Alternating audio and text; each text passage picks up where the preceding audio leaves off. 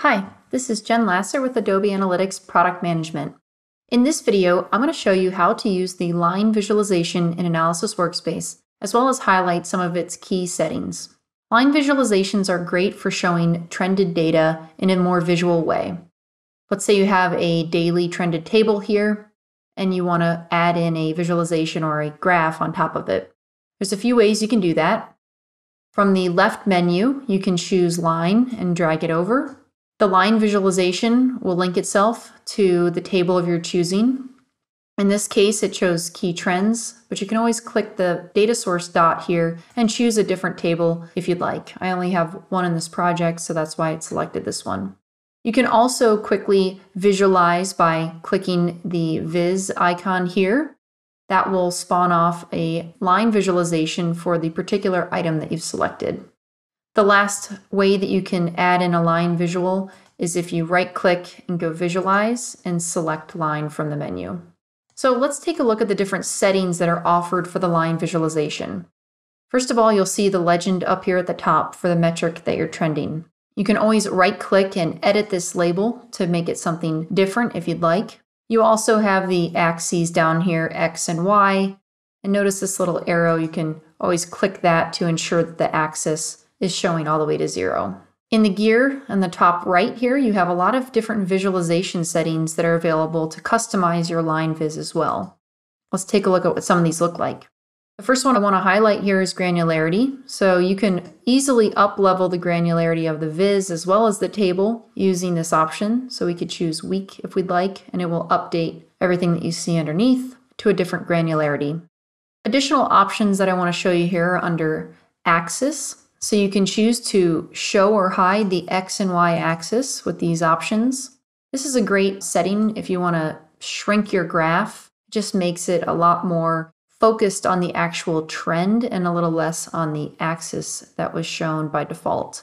You can also choose to add different overlays to the line viz. So by default, we show anomalies. That's the band here that you see. So the dark line is the actual data. The dashed line is the expected data based on our anomaly detection.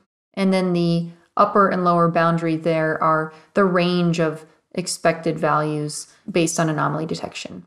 So you can always choose to take that off if you really just want to focus on the actual data. Additionally, you can choose to show min and max labels so that the points um, that are highest and lowest in the trend are highlighted and always visible. Last thing I wanted to highlight here is show trend line. Show trend line will overlay a regression line onto your, your line visualization. We offer a few different options today, linear, logarithmic, exponential, power, and quadratic. What this will do is it will overlay a trend line onto your data so that you can get a higher level picture of how your data is trending. Here you'll notice we have a lot of up and down peaks and valleys in our trend, overlaying a linear trend line really helps pull out the story that the data is actually trending upwards across this time period. Now, if you were to have multiple metrics in this line graph, we would display both in the line visualization by default, but you can always change what you're seeing by turning the legend on and off, clicking them like this. When both are displayed, we do um, hide some of the things like min max and the trend lines and then they will display themselves when you hover over a particular series. So I'm hovering over visits and now I can see more information. Same would go for our orders trend as well. Now, these two data points are on totally two different scales, so you do have additional options when you have multiple series in the line.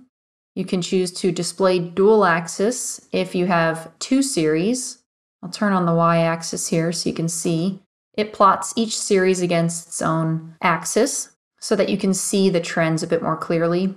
If you were to have more than two series, you would also be able to choose from normalization. That would just normalize each series on its own so that they could all be displayed kind of in the same format within the line viz. So this has been an overview of line visualizations. Again, use them to visually bring to life trended data that you might otherwise show in a table. And then go further to explore the different settings that we offer that really help you add different axis controls and overlays to craft the exact line visualization that will help tell your data story.